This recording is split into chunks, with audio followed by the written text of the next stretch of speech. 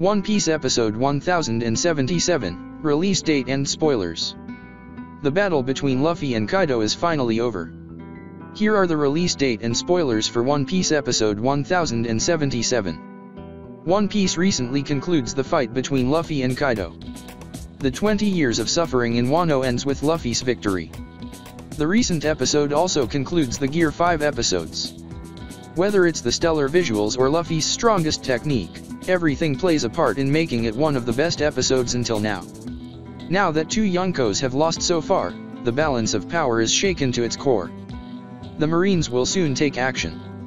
Therefore, the trouble in Wano doesn't seem to be over, as One Piece will introduce yet another antagonist.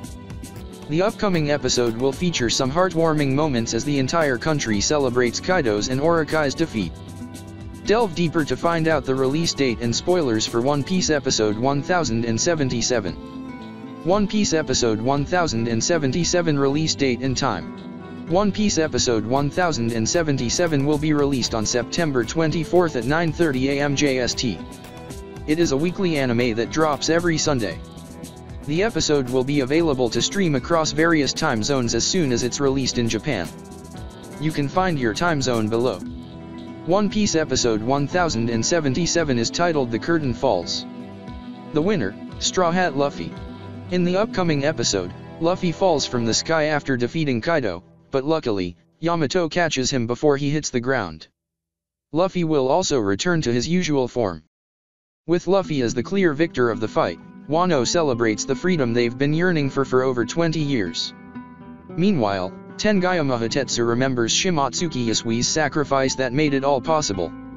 After hearing his words, Toko changes her wish on the paper lantern. Initially, she wished to see her father again, but after understanding the reason behind his sacrifice, she thanked him instead.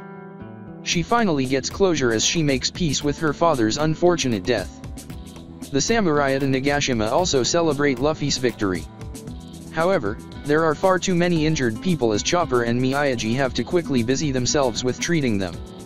On the other hand, Momonosuke tells Zunisha about his decision not to open up Wano's borders yet. Despite knowing about his father's wishes, Momo believes it's not the right time.